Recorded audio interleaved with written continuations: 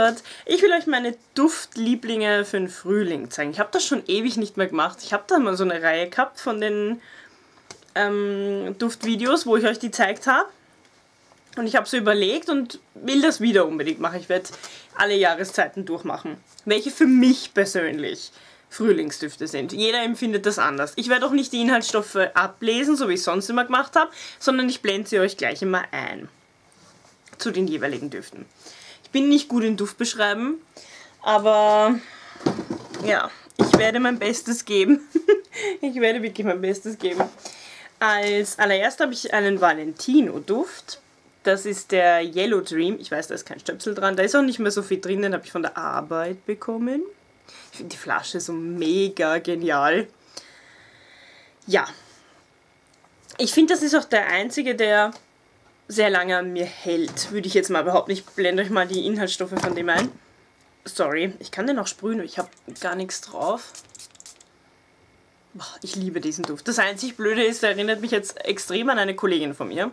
Weil sie hat ihn durch Zufall gesehen, weil ich ihn mal gesprüht habe und seitdem benutzt sie ihn auch. Und das, ihr kennt es mich ja, ich mag das nicht so gerne, aber ich finde, der ist perfekt für den Frühling.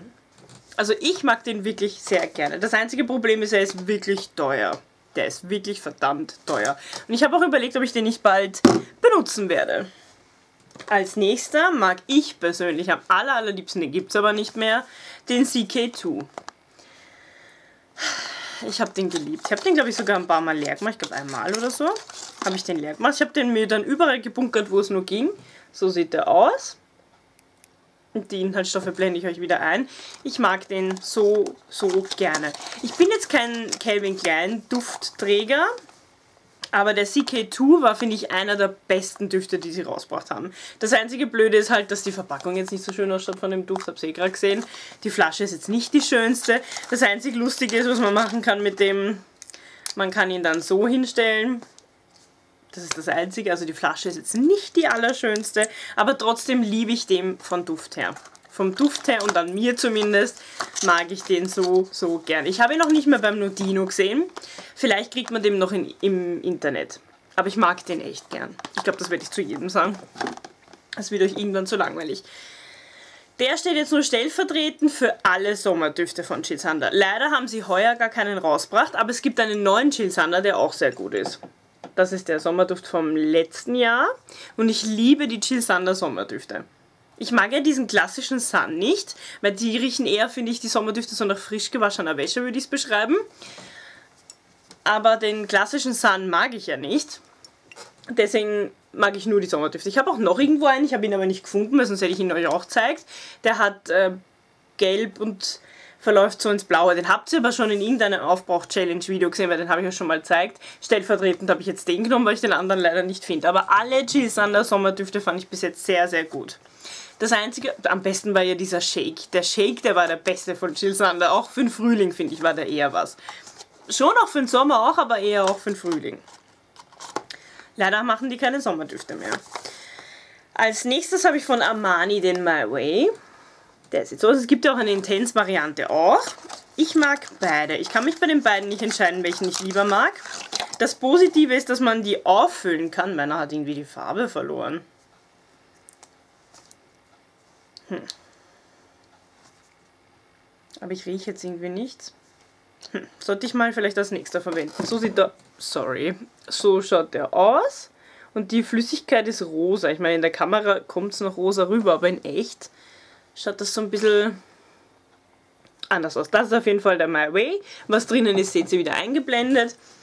Ich finde den wirklich, wirklich gut. Das Positive ist auch, dass man den eben nachfüllen kann. Man kann sich die Nachfüllung kaufen und kann ihn dann selber befüllen. Das geht auch jetzt bei der Intense-Variante. Finde ich persönlich super. Sollte ich aber vielleicht mal bald verwenden, weil das schaut nicht mehr so gesund aus. Aber ich mag den. Der ist wirklich ein ange... Der geht aber schon eher mehr Frühling, weil ich glaube, wenn man den im Sommer trägt, dann wird man verfolgt von Bienchen, wenn man den im Sommer oben hat. Den mag ich auch, aber das ist so eine kleine Hassliebe, weil er nicht so lange an mir hält. Das ist auch von Armani, der Because It's You. Das ist die ganz große, die 100 Milliliter, glaube ich, ist das, oder? Ja. Was wieder drinnen ist, seht ihr eingeblendet.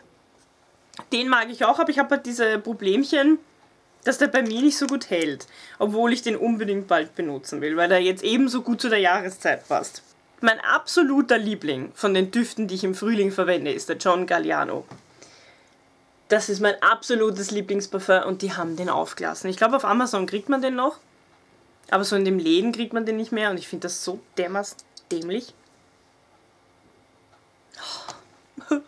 Ich sollte den auch bald verwenden. Ich glaube, ich werde den für die Arbeit nehmen. Der fängt schon so ein bisschen zum Schlechtwerden an. Ja, ich glaube, den werde ich als nächster verwenden. Das ist einer meiner Lieblinge. Ich habe den auch noch ein paar Mal in klein, in so Mini. Der schaut nämlich so aus wie ein Brief, wenn ihr das so seht. Und das war einer meiner absoluten Lieblingsparfums. Das war mein absoluter Lieblingsfrühlingsduft. Und man kommt, glaube ich, nur noch auf Amazon dran an die. Und ich habe damals den Test habe ich genommen. Da ist eh auch schon relativ viel weg. Deswegen sollte ich ihn aufbrauchen, ne? sonst gibt er mir komplett. Was ich erst so durch meine Mama lieben gelernt habe, ist von Kenzo der Flower in the Air. Das ist aber das ohne Toilette. Den gibt es, glaube ich, leider auch nicht mehr, mehr. Aber ich mag den anderen Flower bei Kenzo auch. Also diesen klassischen. Und den finde ich sowieso mega. Der, der riecht echt gut.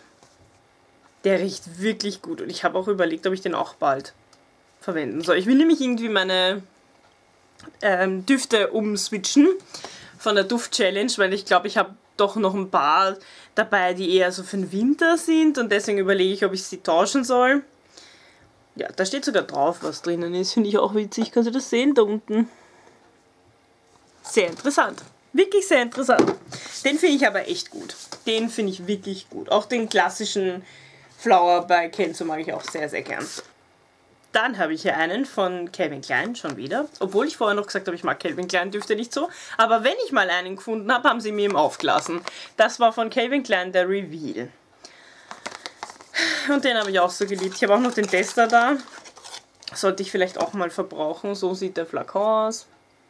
Sollte ich vielleicht auch mal bald benutzen, weil der Tester, die sind ja doch lange im Regal, wenn man das so nimmt und sollte ich vielleicht bald mal benutzen. Ich glaube, ich muss ein neues Aufbrauch-Duft-Challenge-Video machen, weil ich habe jetzt einen Winterduft noch in dieser Challenge und irgendwie will ich den nicht benutzen dabei, weil das nicht zu der Jahreszeit jetzt passt. Stellvertretend zu fast allen Daisies, aber ich finde, da muss man selber probieren, welcher einer am besten gefällt, weil ich mag diese blumigen, diese stark blumigen ja nicht, aber die Limited Editions mag ich immer sehr. Das war auch einer, der was limitiert ist, war vom Vorjahr. Heuer kommen auch wieder neue raus. Habt ihr schon gar, sogar, glaube ich, schon gesehen. Ich glaube, die sind diesmal so türkis. Und letztes Jahr waren sie grün. Und ich bin eher so auf frischere Düfte rüber gewechselt, was gar nicht früher mein Fall war. Ich finde auch das mit den Blumen so schön. Der ist auch wirklich nicht schlecht. Er ist halt sehr blumig, er ist leicht, er hält halt nicht so lang, finde ich. Es ist auch ein Eau de Toilette.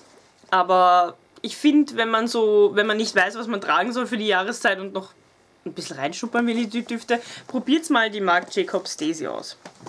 Ich bin jetzt von den klassischen, das ist jetzt nicht so mein weil den haben auch so viele, aber die Sommerdüfte mag ich sehr gern, auch von Marc Jacobs. Wieder Armani. Der Armani Sea Fiori und den gibt es leider auch nicht mehr, weil den mochte ich auch sehr gerne. Immer lassen die meine Lieblinge auf. Von Lancome, von Armani. Immer meine Lieblinge. Ja, das war, glaube ich, der von der Arbeit, der Tester, wenn ich mich nicht irre. Ich habe aber noch eine ganz volle zu Hause. Das heißt, ich werde ihn bald benutzen, weil ich habe ja eh noch eine volle zu Hause. Juhu. Aber den mag ich so, so gern. Ich finde es so schade, dass sie den auflassen haben. Stattdessen kam jetzt dieses Eau de Parfum Eclat raus. Und das, ich weiß nicht gefällt mir nicht so. Er ist schon gut, aber es ist jetzt nicht so mein Liebling. Von Jill Sander habe ich wieder was. Irgendwie ist das so gleich, gell? Von den, von den Marken her.